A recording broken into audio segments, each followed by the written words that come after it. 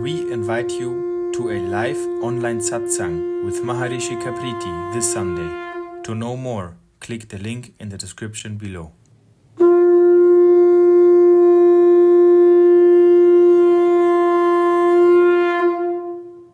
Namaskar, Harishka. Namaskar, Derek. Namaskar. Thank you for for being. Thank you for your comforting voice. so I've just discovered you recently. I think I've been having Kundalini symptoms. Actually, it's been coming up into me. You know, just burning. It's like more calm now, but that's like reaching. You know, my crown, and I've just been very, very, very scared lately, and just like panic stricken. It feels kind of like death. You know, each time, and and I've seen your videos, and I know that you just have to. You know, you bow and you give into it, and you know you you just trust the process. But there is this there is this fear in me of dying and not not just an ego death and coming back just you know transformed but you know really dying. And i just feel like you know my place is on earth you know i want to do good things here and you know i i, I love my parents and so i'm just i don't know there's just conflict in me. I'm constantly feeling this pressure in my in my face like it's actually like kind of near my teeth or if there's some type of really physiological thing going on. I've seen doctors and they say, oh, everything, everything is kind of fine. But I've been just so afraid, like just wondering, you know, what, what is really happening. And I had this experience with, with ayahuasca and it kind of just blasted blasted me open. If I had known that it would do that, I would not have done it at all. But I just went for some questions, you know, just like what's what's my purpose? But it's a long, yeah, it's long, long spiel. I apologize, but I'm just. That's okay, Derek.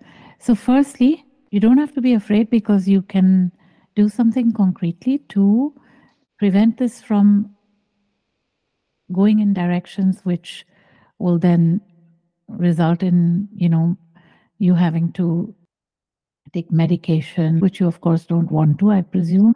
The thing is that the ayahuasca would have triggered the Kundalini because when you took the ayahuasca, you were not prepared for it in any way whatsoever, which is the case with most people who take it. And uh, there are, you know, many, many cases of people who have this triggering after that.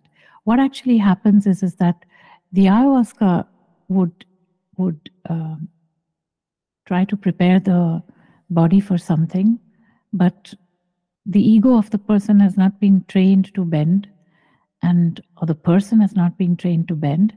And so the ego causes blockages and the kundalini is trying to support the system of the person during that ayahuasca experience by attending to the traumas that the person has to endure during that experience. But because the blockages are there because they've not been cleared through preparation which used to be the case in the past when people took that I mean, they were in surrendered states. They were trained to be in surrender by working with the shamans, by taking care of the shamans' families, or by actually serving the shamans. Their ego was broken down that way. And then the plant medicine was able to expose them to uh, truths about themselves. That's just by way of explanation. The most important thing is you don't have to be afraid when it happens let it be bend. Just bend down into it. Just let it happen.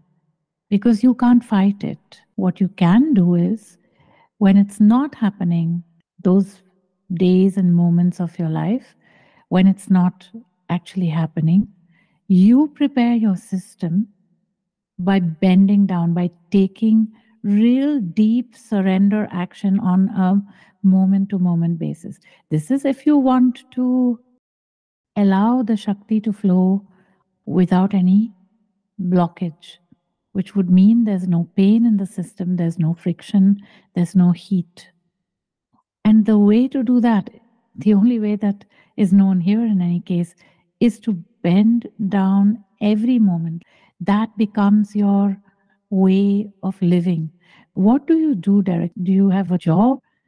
So, right now I'm unemployed, but I was I was working as a, project manager in solar energy um, maybe a year ago, but I was I was let go. And but right now, I just I've just been through this kind of big wave of it. I think it was triggered before, like um, when I was a child, something happened with with some individual, and I felt that um, like I, I thought I was going to die. Like I just felt this this deep deep shame and just this extreme fear that I was going to die, and then I just kind of obviously swept it under the rug like most people do. I mean, but I've always been very anxious and just kind of yeah, just very just very very sensitive. Um, so the question is, do you want to bring yourself back to what I would call normalcy? Is that something you really want? I mean, I I think this Shakti energy is a very beautiful thing in the end. I would actually just just to you know to have time to to really prepare myself, you know, because. What do you want to prepare yourself for?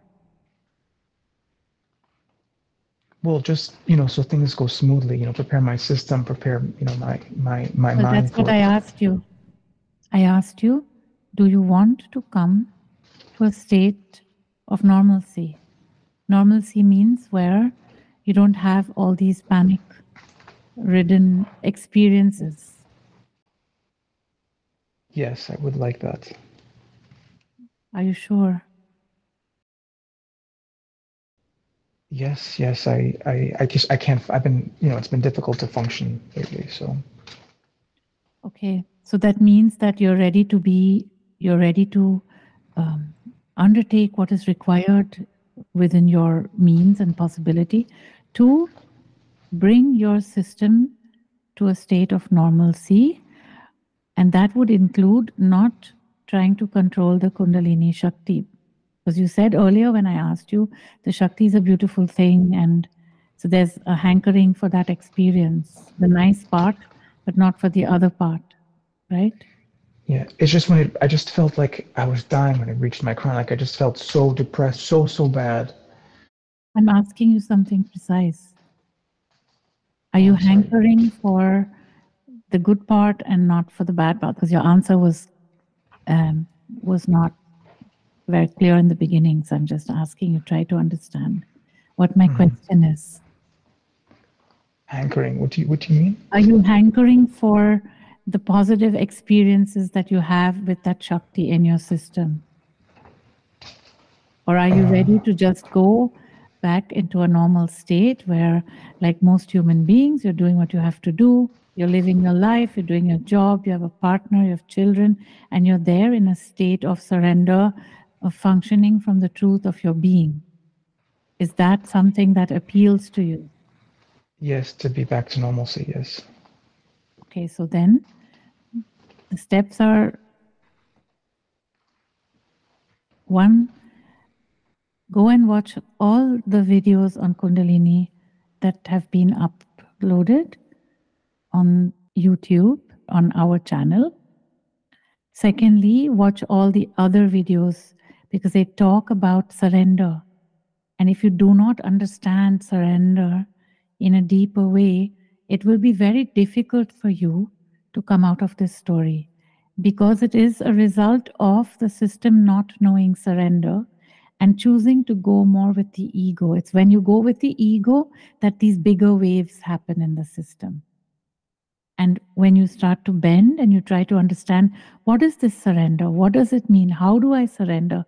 And, and you actually understand that surrender means discerning between the loud noise of the ego that's making you do things and that almost imperceptible impulse of the truth and going with that truth.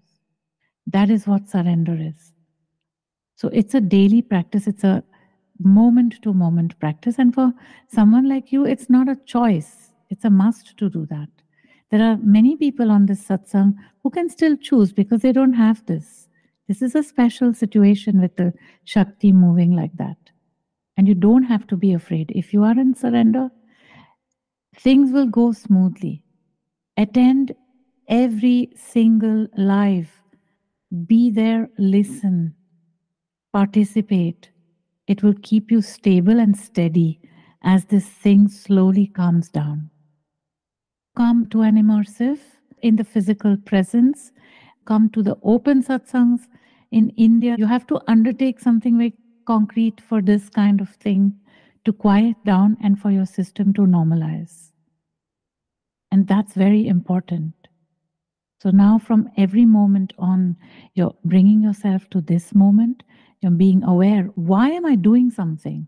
Whether it's brushing my teeth or eating a fruit or going for a walk, more and more it has to come from the truth impulse and not from the ego. The ego, of course, has its very subtle faces, but to start with, you go with the truth.